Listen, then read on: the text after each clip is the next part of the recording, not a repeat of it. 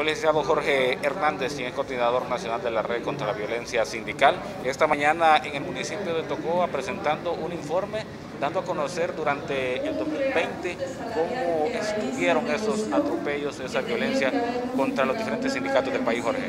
Muy bien, buen día compañeros. Eh, el día de hoy eh, hemos venido a acompañar a las compañeras y a los compañeros de la Red contra la Violencia Sindical del sector de la UAN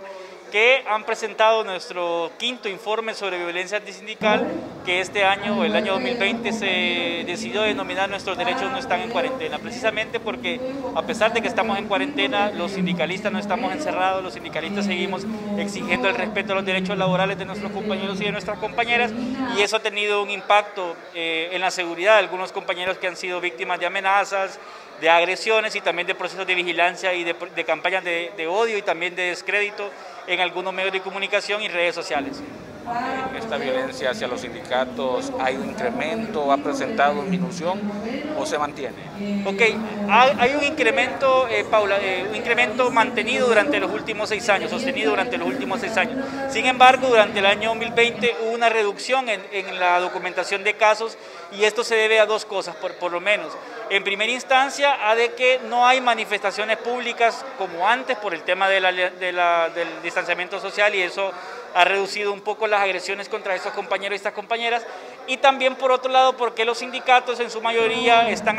apostándole a, pelear por la estabilidad laboral, es decir, porque no suspendan, porque no despidan a estos compañeros de los centros de trabajo y no a pelear por mejores condiciones de trabajo a través de los, a, través de los